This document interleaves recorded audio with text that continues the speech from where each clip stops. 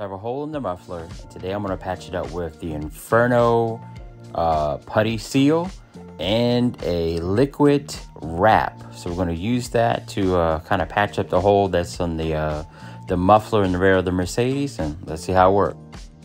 All right, so that's where my hole is at. There was one there before and I took it to a repair shop for suspension work. And I guess to be nice, they try to fill that in, but uh, wasn't right. But anyway, so we're gonna try this other stuff in the meantime to try to fix this because I think that's the only place that I have a hole at. All right, so this stuff's kind of like paste consistency that's inside of here. Okay. So I'm gonna try to build a base for it. Uh, to kind of be able to harden on there. All right, so I didn't know really how much to put on, but I put a lot on because I wanted to make sure that it, it was even think about coming off, uh, it wouldn't, you know, have a lot of stuff because there's a lot of pressure going through these pipes. All right, so up next is these bandages I'm gonna also put on there while everything's kind of slightly uh, wet. All right, so the package is kind of gross and liquidy in the inside. And I guess I just wrap that around.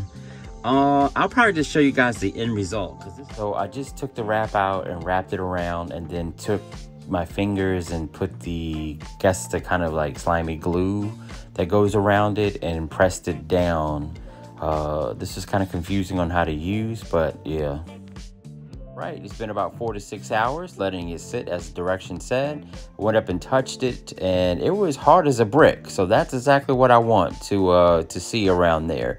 Uh, started the car, pressed the gas, and you know, nothing ripped, no holes, no air escaping from anywhere. So this product actually but did anyway, very well. So uh, yeah, and if you guys have any kind of like uh, engine sputtering, check engine lights, and you can't really figure out what's going on, also check out your exhaust throughout the entire car. If you have any kind of little holes, big holes, plug those up or replace them as soon as possible because that system is really depending on uh, the closure of the system and exiting out in one direction without adding any air into the mix.